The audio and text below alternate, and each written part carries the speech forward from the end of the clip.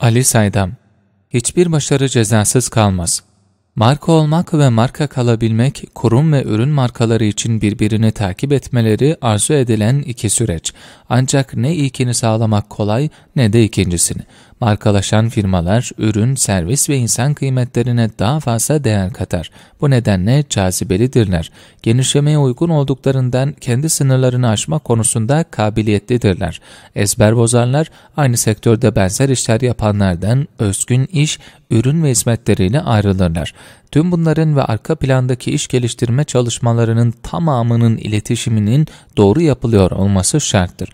İyi yapılmış bir işin iyi anlatılamazsa yok değerinde olduğu bir çağda yaşıyoruz. Düzeltiyorum, aslında bu her zaman böyleydi. Bugünün farkı doğru yapılan iletişimle Mısır'daki Sağ Sultan'ın bile yürütülen iletişim çalışmalarından haber alma kabiliyetinin bulunması. Yani herkesin açık iletişim ortamında kolaylıkla fikir sahibi olabilmesidir. Marka kalmayı sürdürmek bazen markalaşmaktan bile zordur. Hiç bitmeyen, devinim halinde bir yoldur bu. Cesaret ister, elini taşın altına koymayı gerektirir. Yenilikçi ve ileri görüşü olunmalıdır.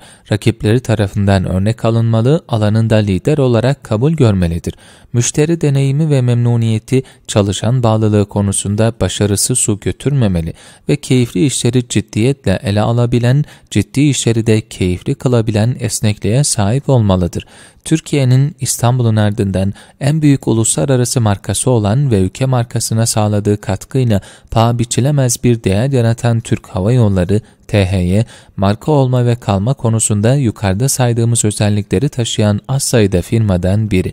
THY üst yönetimi, uçak alımı, bakımı ve işletmesi gibi sert konularda yıllardır gösterdiği başarıyı ikram, hizmet ve iletişim gibi yumuşak konularda da sergileyerek kendisinden beklenenin üstünde bir yaklaşımla ezber bozma politikasını dünyanın büyük starlarını devreye soktuğu reklam filmlerinin yanı sıra uçuş emniyeti için gerekli olan adımların anlatılması sürecinde de hayata geçirmişti biraz da sihir kattık diye sunulan ve bir delikanlının emniyet önlemlerini espri dille anlattığı film bu konudaki inovasyon uygulamasının mükemmel bir örneğiydi.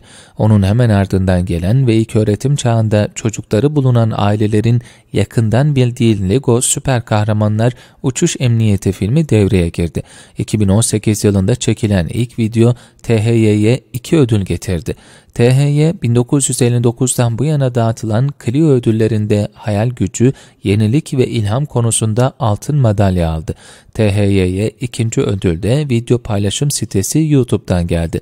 Sitenin düzenlediği Leaderboard listesinde 25 milyondan fazla izlemeye ulaşan THY Lego filmi 2018'de dünyada en çok izlenilen 5.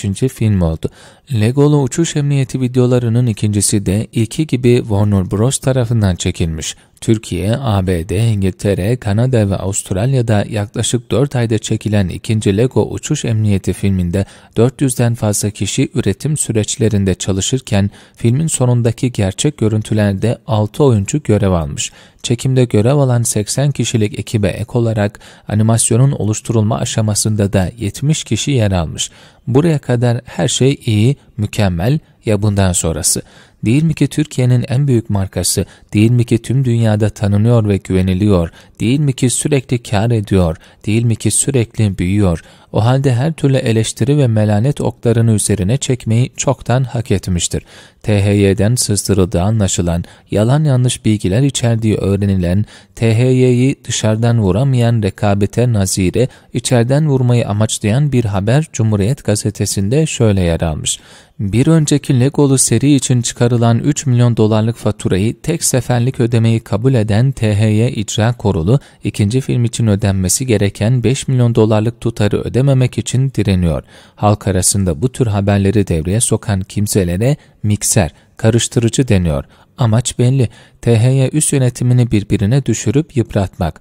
Bu iş uzun yıllardır deneniyor. Benim bildiğim en azından son 3-4 yönetimi başarısından dolayı cezalandırmak isteyenler çıkmıştı. Ancak bunların hiçbiri başarıya ulaşamadı. THY markası uçuşuna devam etti. Bundan sonra da edecektir mutlaka.